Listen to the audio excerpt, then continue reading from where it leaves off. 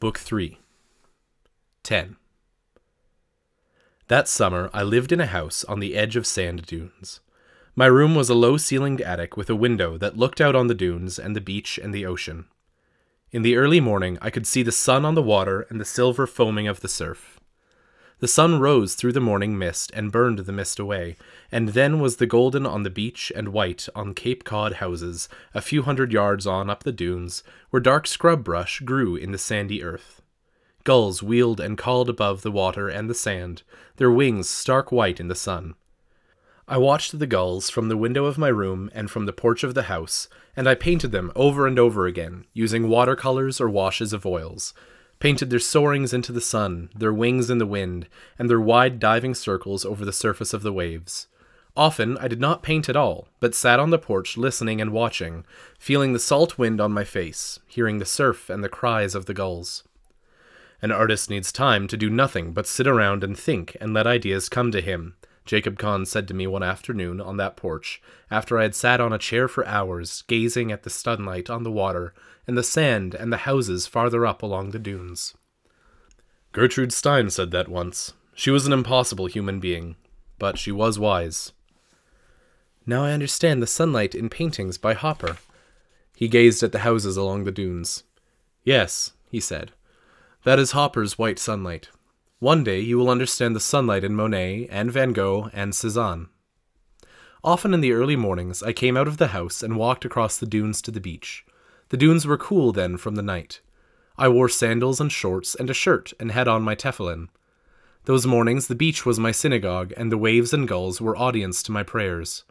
I stood on the beach and felt wind-blown sprays of ocean on my face, and I prayed. Sometimes the words seemed more appropriate to this beach than to the synagogue on my street. One morning I finished praying and came back across the dunes and found Jacob Kahn on the porch. I was watching you, he said quietly. I used to pray once. Do you talk to God when you pray? Yes. I have lost that faculty. I cannot pray. I talk to God through my sculpture and my painting. That's also prayer. He smiled faintly, the morning sun on his face. The Rebbe said precisely that. You are following the party line, Asher Lev, but we know it is not the same thing, don't we? Sometimes in the mornings I came out onto the porch and saw him walking with his wife across the dunes. She was a shy, quiet woman with short white hair and soft brown eyes. Her name was Tanya, and she spoke English with a heavy Russian accent. She loved to sit on the porch reading books in Russian and in French. I would watch them walking together across the dunes. She came to below his shoulders in height, and often he would bend toward her as they walked. I would watch them together, then turn my eyes away and stare out across the waves at the distant joining of water and sky. I would not eat food that was not kosher, so they brought a table and a chair, and a portable electric stove, and a refrigerator into my room, and I prepared my own food. Mostly I ate canned foods and hard boiled eggs and raw vegetables. On occasion, as I sat at the table eating, I wondered how my father had managed to eat during all his years of travel. After breakfast, Jacob Kahn and I would set up our easels at the edge of the dunes and paint. He taught me how the Impressionists had painted light, and what Cezanne had done with color and form. Once a sailboat came close to the shore and was circled by the gulls. Using washes of oils, he showed me how John Marin might have painted that. I had seen Marin's watercolors in museums. Now I began to understand their lines of tension, their fluidity and power. I began to understand, too, though only with difficulty, why and how he painted as he did. The canvas was a two dimensional field, he said. Any attempt to convert it to an object of three dimensions was an illusion and a falsehood.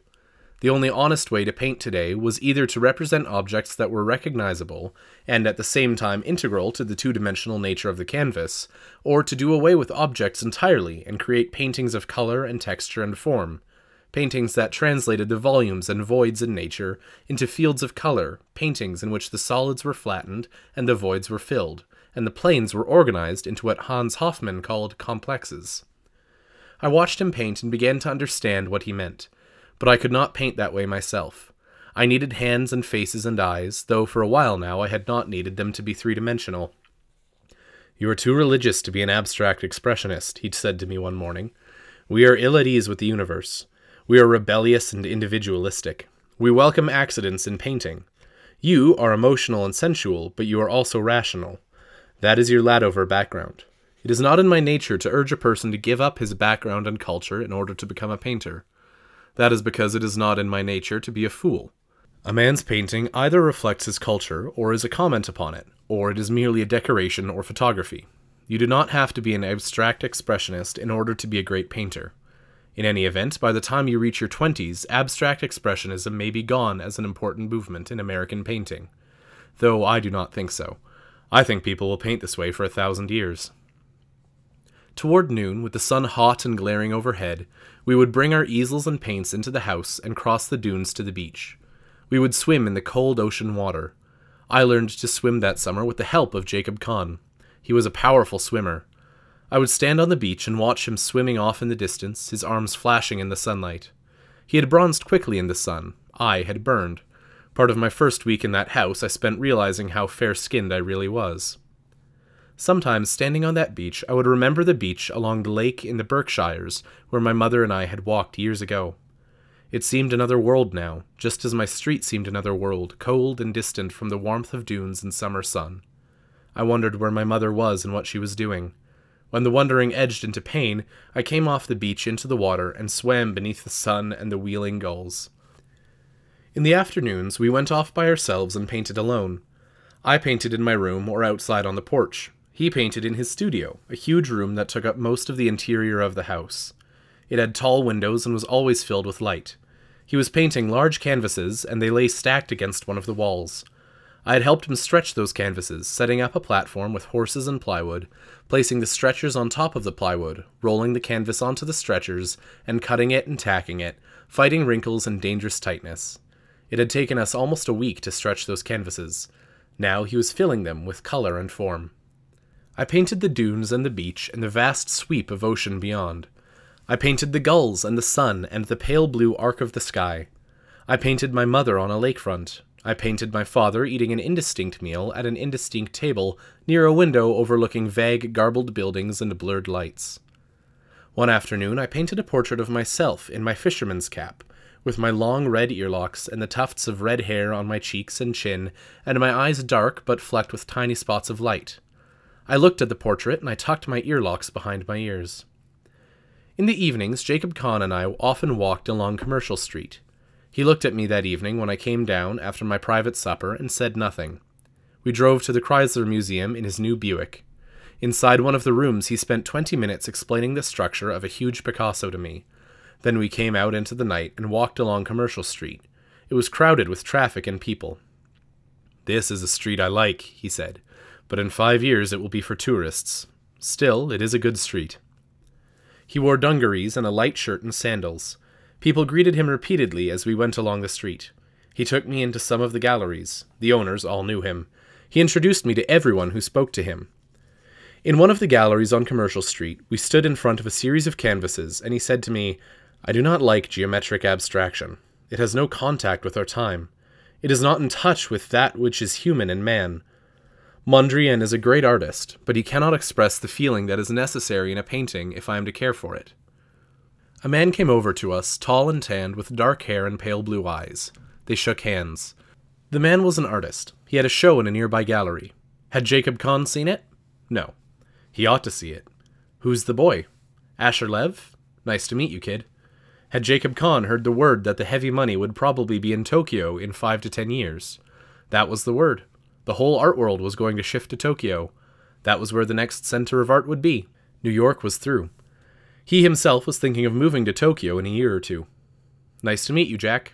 Nice to meet you, kid. Catch the show if you can. He went out of the gallery into the crowded street. Every trade has them, Jacob Kahn said. They are called whores. We walked along the street in the warm night.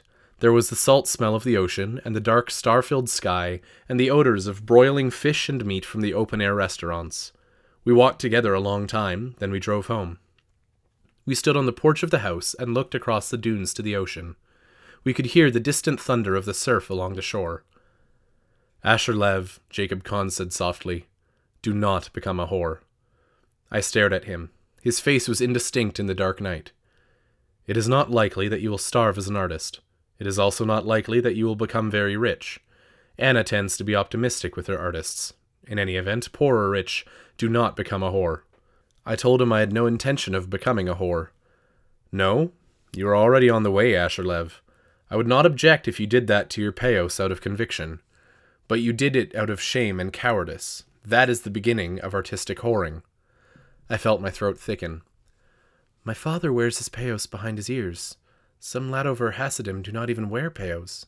They aren't that important to us. Asher Lev, an artist who deceives himself, is a fraud and a whore. You did that because you were ashamed. You did that because wearing peos did not fit your idea of an artist. Asher Lev, an artist is a person first. He is an individual. If there is no person, there is no artist. It is of no importance to me whether you wear your peos behind your ears or whether you cut off your hair entirely and go bald. I am not a defender of peos. Great artists will not give a damn about your payos, They will only give a damn about your art. The artists who will care about your payos are not worth caring about. You want to cut off your payos, go ahead, but do not do it because you think it will make you more acceptable as an artist. Good night, Asher Lev. Tomorrow morning I will begin to teach you what Kandinsky tried to accomplish. I will also show you why abstract expressionists are indebted to Chaim Soutine. He peered at me intently in the darkness. Asher Lev, did I upset you? Yes. Good. I spoke bluntly. It is not in my nature to be circumspect about important matters. I was quiet. Good night, Asher Lev. He went into the house. I stood alone on the porch and stared out across the sands at the water and the night. There was a wind now from the ocean, cool and damp against my face. The porch ran the length of the house and was screened off from the outside. The darkness throbbed softly with the earth life of an ocean shore. I heard the tapping of insects upon the screen. A mosquito buzzed nearby, strangely loud in the pulsing night. Distant laughter floated toward me, borne by the night wind. I felt hot, and I shivered, and I was ashamed. We did not talk again about my earlocks. I left them as they had been, loose and long against the sides of my face. Nor did we talk about how we spent Shabbos. I would not paint on Shabbos. I spent Shabbos mornings praying and reviewing the Torah reading. I spent Shabbos afternoons studying a book on Hasidus I had brought with me. Jacob Kahn spent Shabbos mornings on the beach with his wife and Shabbos afternoons painting. On Tisha B'Av, I read the Book of Lamentations aloud to myself in my room. I fasted and would not paint. I sat on the porch in the morning, watching the sun on the sand. Tanya Kahn sat nearby reading. She looked up at one point and in her heavy accent said quietly, When will you be able to eat, Asher? After dark. You are a skin and bones. You should not starve yourself. I did not respond. My younger brother was very religious, like you. Everyone admired him, but the Nazis killed him anyway. It did not do him much good to be so religious. She went back to her reading. I sat gazing across the dunes at the rushing surf. Jacob Kahn came out onto the porch from the house. He brought with him the odors of turpentine and oil colors. He wore shorts and sandals, and there was paint on his arms and chest and white hair, and on the shorts and sandals. He looked somber. That went well. I am satisfied. I will hate it in the morning, but now I am satisfied. My little Hasid is still fasting? I nodded. I will wash up and we will take a walk.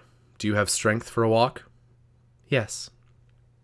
He went back into the house and came out a few minutes later wearing clean shorts and a light shirt. There is paint in your mustache, his wife said. Yes, we will let it remain for a while a testament to a day of good work. Come, Asher.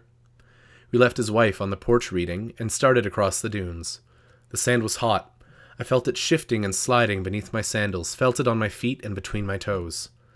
Along the edge of the beach lay scattered remnants of the night beer cans, bits of paper, a prophylactic. Jacob Kahn left his sandals on the beach and walked along the surf, and I walked beside him, keeping my feet out of the water. The sun burned overhead. I felt it burning my face and arms. You are fasting for the destruction of the temple? Jacob Kahn said. Yes. And for the death of the six million? I've been thinking of the six million. Yes. My father used to fast. I could never understand the point of it. I fasted a few times when I was young, but when I came to Paris I stopped because it meant nothing to me. It meant nothing to me when I lived in Berlin in the 20s, and again in Paris in the 30s. I've had long discussions with the Rebbe about fasting. I have lost the faculty of appreciating such an act of faith. He stopped walking and stared out across the ocean. Sometimes I think all that water is blood.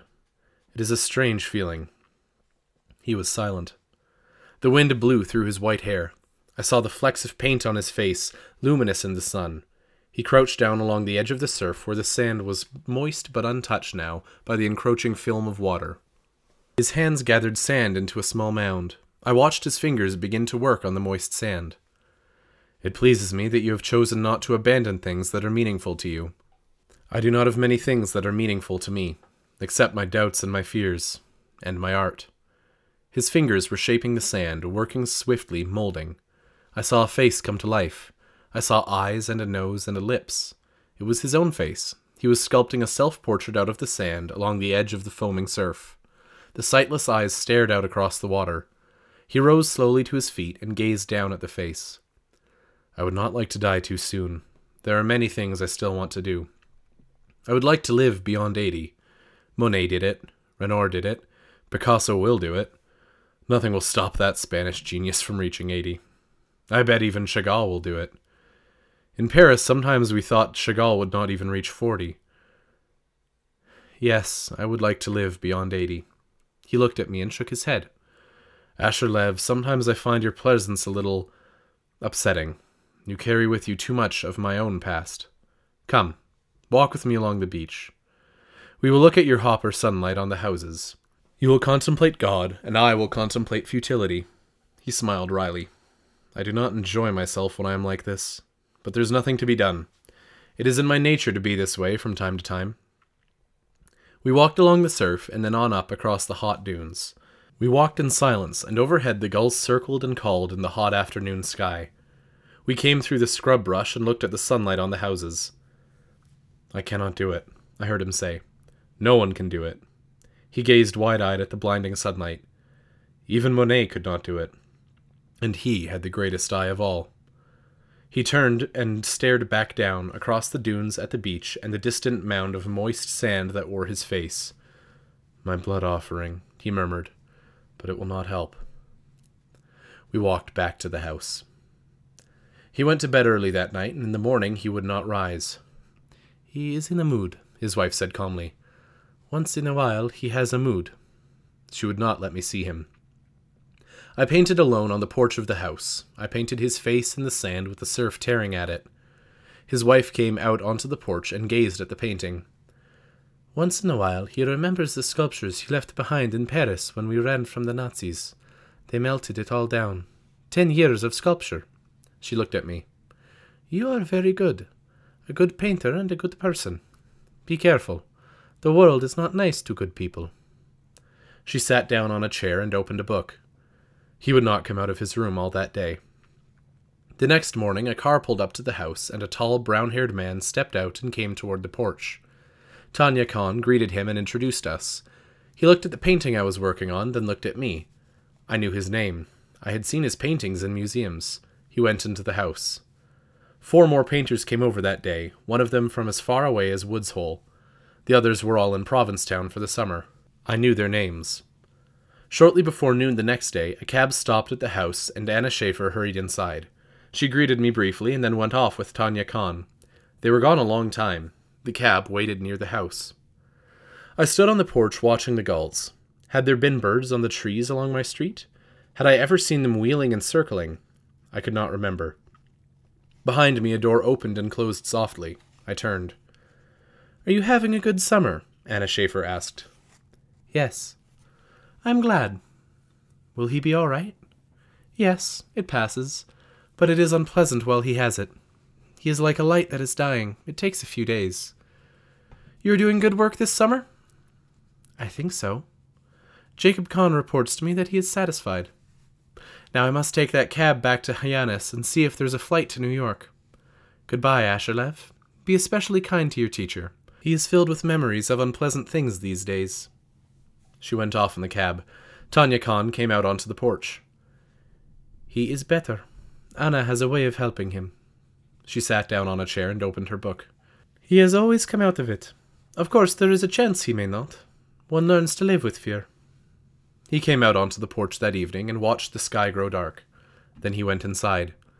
Later, as I passed his studio on the way to my room, I saw he had turned on a set of floodlights and was painting, stripped to the waist, a huge canvas toned in a wash of burnt sienna.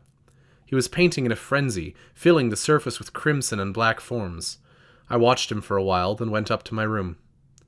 In the morning, we painted together. We did not talk about the past three days. When we went down to the beach before noon to swim, I saw him staring at the sand beyond the curving line of surf. The sand was damp and smooth. He went into the water and swam a long time, far away from the shore. Then he came out of the water and stood next to me, dripping, his white mustache hair wild and wet, droplets of water clinging to his mustache. I will make it past eighty, he said, if I can keep from thinking too much about the past. That was a good swim for an impossible old man of seventy three. We walked back together across the dunes to the house. The following week, I received a letter from my mother. She was well. My father was working very hard. She urged me to take good care of myself and not to forget that I was a Jew. She sent her good wishes to Jacob Kahn. The letter was postmarked from Zurich. The previous letters I had received from her had all been postmarked Vienna, Paris, and Bucharest. Often that summer I lay in my bed trying to sleep and found myself thinking of my parents. I would see them gazing out train windows at misty hills and dark mountains and tiny villages set in green valleys. I would see them on the boulevards of great cities, walking together, my father, tall and bearded, dressed in his neat dark clothes, my mother, short, slight, her eyes warm and alive to the sounds around her, the two of them together, my father's head inclined toward her, listening to her words. I wondered what they talked about during all those days of travel. Russian Jews, the yeshivos my father was bringing to life, their strange son, my father's certainty of the trouble I would one day bring upon them. I would lie awake in the night seeing them together, and finally I would sleep, and sometimes there would be dreams. One day in the third week of August, Jacob Kahn took me to Hyannis, and we spent part of the day visiting galleries. Two days later, we drove to Boston to see a Cubist exhibit. All the way back in the car, Jacob Kahn talked about the exhibit and about the Cubists he had known in Paris before the First World War. We changed the eyes of the world, Asher Lev. Picasso and Braque with painting, and Jacob Kahn with sculpture. Picasso was frightening. We met and talked, all of us, and thought of this or that idea. Picasso would go back to his studio, and in a few hours he had it all worked out on a canvas. He is a genius. He can use up a lifetime of ideas of an ordinary good painter in a few weeks. People used to hide their canvases from him. There's something demonic about such a gift, Asher Lev. Demonic, or divine, I do not know which. Giotto, Michelangelo, Picasso. It'll be 300 years before the world assimilates what has happened to art as a result of Picasso and the Cubists. He smiled delightedly. Ah, the stories I can tell. You are an old gossip, his wife said, looking up. She had been sitting beside him on the front seat, reading. Yes, he said, I love gossip. It is one of my more delicious weaknesses. A few days later, he drove me to the Provincetown docks and let me out. I wandered along the waterfront, sketching the boats and the gulls and the boys diving and swimming. I watched them diving and swimming, and I sketched their young bodies in the sunlight. Then I stopped sketching for a while and stood at the end of a long wooden pier and watched them in the water, swimming smoothly with the liquid ease of a fish. I envied them their freedom. I went from the pier and walked slowly along the streets of the town, narrow, crowded streets filled with cafes and restaurants and souvenir shops. I came into a small aquarium and watched sharks swim about behind thick glass. I sketched the twisting of their bodies and the hideousness of their mouths. People gathered around me, and there were murmurs of awe. Here is my gift, I thought, publicly displayed. I drew without hesitation. I thought I heard someone applaud. I could not be certain. I saw a young boy of about eight leaning forward, watching. I signed one of the drawings, dated it, tore it from the sketchbook, and gave it to him. His eyes went wide. There was a soft ripple of laughter and approval. I went out into the sunlight and walked the streets. Sometime during the walking, I saw myself in the window of a restaurant and stared indifferently at my face and realized my side curls were behind my ears. I turned away and continued along the street. I went up a side street and sketched the faces of old women on the porches of small wooden houses. I sketched the faces of old men, wrinkled, leathery faces, the faces of fishermen who knew intimately a kind of universe far from the street where I had grown up. Here on a street of Provincetown, fishing families, I sketched people I had never known before, but with whom I felt a strange kinship. We all lived together on the same quicksilvery water and sand. I sketched their faces and gave some of the sketches away, and was rewarded with grateful smiles. Later that day, Jacob Kahn picked me up in front of the gallery where we had met the man he had called a whore. He looked at my face. You had a good day? he asked quietly. I showed him the sketches. He glanced through them and nodded. You had a good day, he said. I'm going to be an artist, I said. I'm going to be a great artist. You've been an artist for a long time, Asher Lev. We drove together through town. Early one morning at the end of August, a truck came up to the house. We loaded the paintings of the summer into the back and closed and locked the doors. We stood on the porch and watched the truck drive off. He is a careful driver, Jacob Kahn said. I've used him before. I did not say anything. Later, we swam together, and then I sat at the edge of the line of surf and made a sculpture of my face out of wet sand. Jacob Kahn watched me. It is very good, he said when I was done.